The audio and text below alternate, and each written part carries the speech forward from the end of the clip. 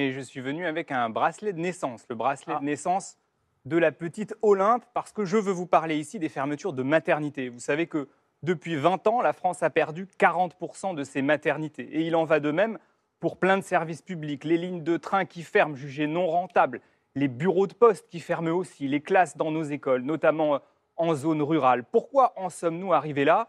Tout simplement parce que euh, depuis 20 ans maintenant, l'Union européenne nous impose des politiques d'austérité. Elle nous impose la baisse de nos dépenses publiques. Elle veut au fond nous faire rentrer dans un moule libéral qui ne correspond pas à notre identité, à notre identité française. Et donc, il faut que ça change parce que je ne veux pas que la petite Olympe vive demain dans un monde sans service public, c'est-à-dire sans solidarité. Et pour que ça change en France, il faut que ça change en Europe, non pas quitter l'Europe, mais changer l'Europe, construire l'Europe des gens et non pas l'Europe de l'argent.